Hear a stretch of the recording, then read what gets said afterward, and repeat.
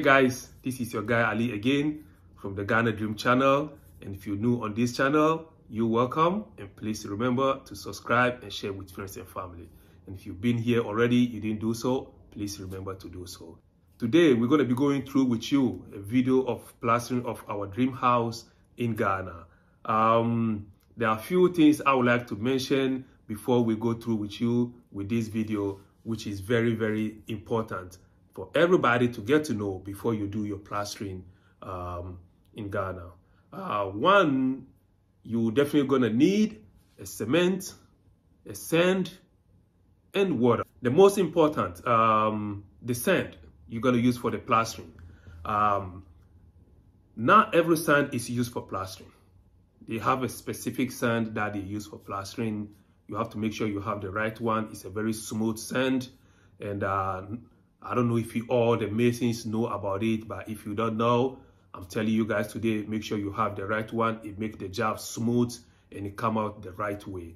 Uh, two, there's a chemical they use to mix the mortar. you know, when you mix the mortar, they mix at the chemical, which prevent it from leaking. And also it helps with, um, depending on where you're building, if it's a waterlogged area or by the ocean, but I feel like everybody should use it, you know, no matter where you're building. It helps with, um, you know, when you have kind of a rust by the wall, at the end of the walls, you know, depending on where you build it. Very important, put a little bit of money and you're going to be good, you know, for a while. When you're doing your plastering, I feel like those are the finishing touches of the house which is very very important you know what i'm saying sometimes i work uh, i walk in a nice beautiful house, a building, and you see all the walls it's wrinkled, it's not smooth and all that. I don't feel like we should be having a problem like this in this modern world and uh, all the technology we have and experience, people been doing this for a while, you know, it doesn't look good. You know, you putting money in it and you need something that, you know, look nice and beautiful. You know, in terms of like, let's say the windows, you know, the shape of the windows, the edges, and how square it has to look uh, when they do the work. I see these little mistakes. Believe me, if they don't have it the way, you know, like a square right way, you're going to have problem when they come to fix the windows and also, uh, I mean, yeah, the window, the glass windows, and also when they're doing, they're going to fix the burglar proof. You know, even not that, you want to see a square, nice shaped window and also at the edges of the doors and the windows, you want it to be straight and square and the walls has to be smooth no matter what. You're going to be living there and you're going to see the, uh, the work. If you don't like it, you're going to be living with it for the rest of your life. You know what I'm saying?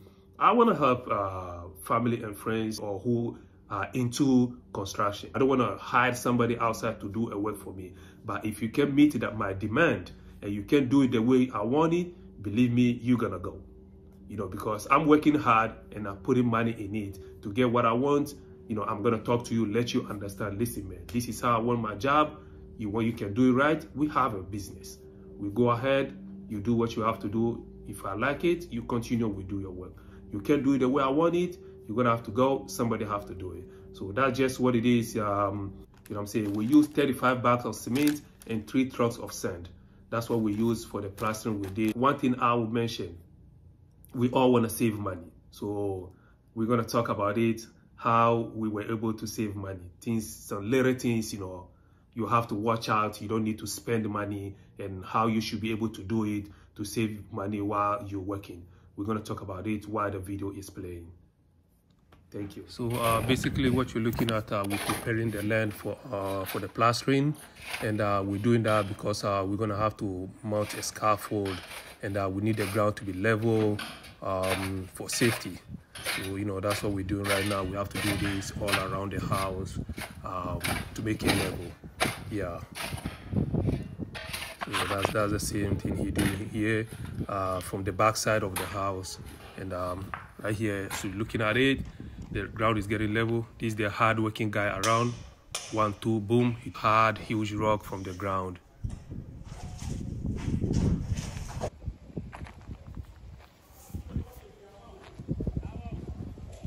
Also you're looking at the walls you see how it look before plastering yep and uh, right here they finish working inside and this is the time they have to move uh, outside of the house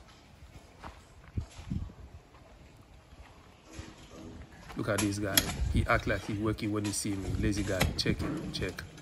He's gonna sit down. See? See, I told you. Anyway, he got paid.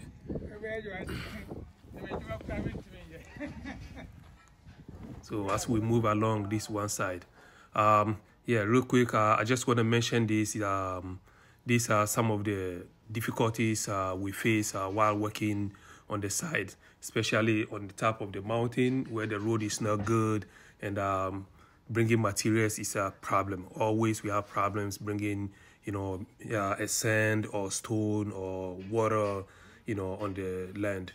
But, you know, these guys, they're working so hard and uh, the experienced guys, they've been doing this for a while and uh, they know what they're doing.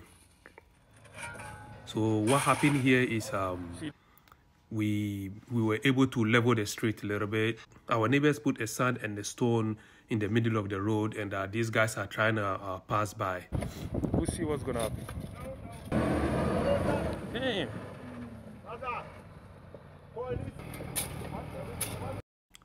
Look, look at how the truck is tint on one side. Man, this is scary. Yeah, this makes my heart drop. yeah, but you know, I, I, feel like you know these guys know what they're doing, and uh, you know they train, they still try their best. Well, they made it, and um, they they come in reverse because um, the land where we are is at the end of the road. So they have to back up all the way from the beginning of the road, coming back slowly, trying to figure out and get on the site.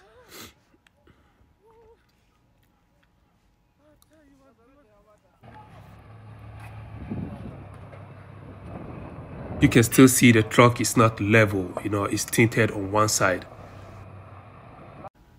So now what they're doing is they're dropping some of the sand and they're going to put it on one side. That way uh, one tire of the truck is gonna go on the sand to make it level for them to be able to, um, I mean, for them to be able to uh, tip the sand on the ground.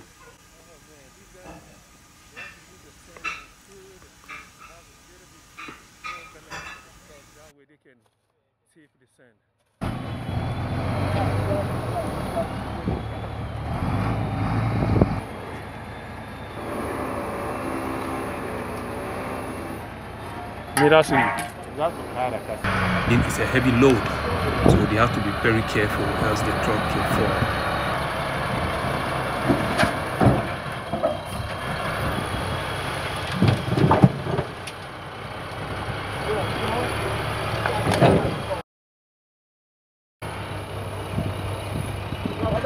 Balik masa ke Oh, okay.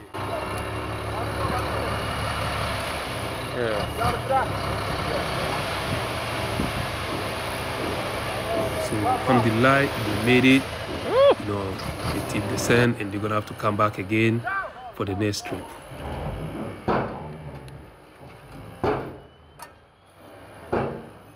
Well, these are some of the um, cements we bought, you know, and uh, this is the rest was left uh, for them to start working outside. Uh, so what you see now is uh, a mixed mortar. We call it a mortar after they put the sand, uh, water and cement together. This is how it become smooth, you know, and they're gonna serve it. And that's how the, everything started by slapping the mortar on the walls, beginning trying to make it a little bit more level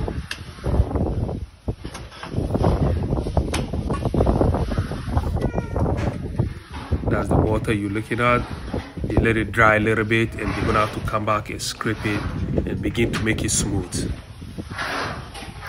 Because it's a big job they have all section all the guys working in a different uh, section of the house.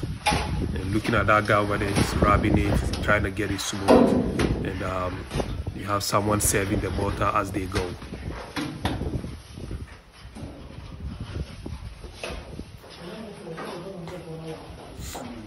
and uh, you can see some of the walls is not smooth. The reason behind that is whatever wall is not smooth is because we're gonna have to um, put a stonework or a task on it. So they have to make it rough. That way it can hold the task once they put it on it.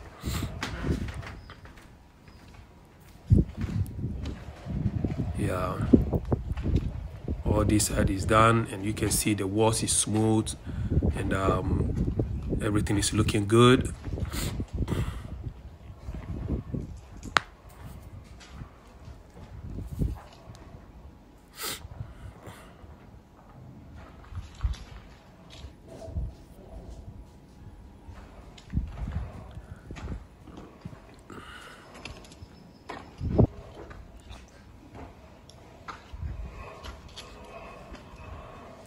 See this is what you want to see.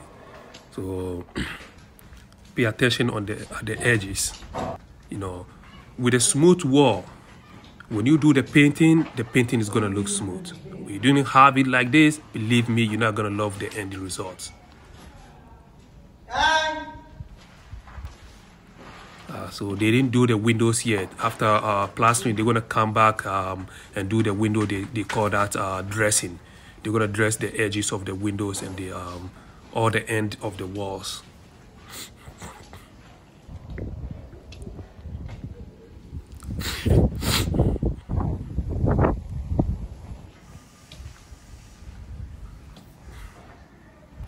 So as I said, um, these are some of the strategies we use to save money.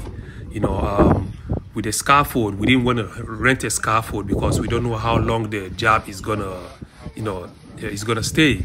Uh, probably a month or more. So what we did is we bought the wood two by two and uh, some boards, and uh, I have agreement with my carpenter. Uh, we're gonna have to mount the scaffold on one side of the house. Once they finish working, then we're gonna move it on the other side of the house as we go. You know, uh, step by step or one time, uh, one at a time. So they finish the right side, we move it at the back, and now as you can see, the scaffold is at the back of the house and um, they're gonna work on this side and when they finish we're gonna move it on the other side of the house. No you gotta be smart you know what i'm saying? You know it's not that serious. You know there are certain things you can manage but certain things believe me just do it the right way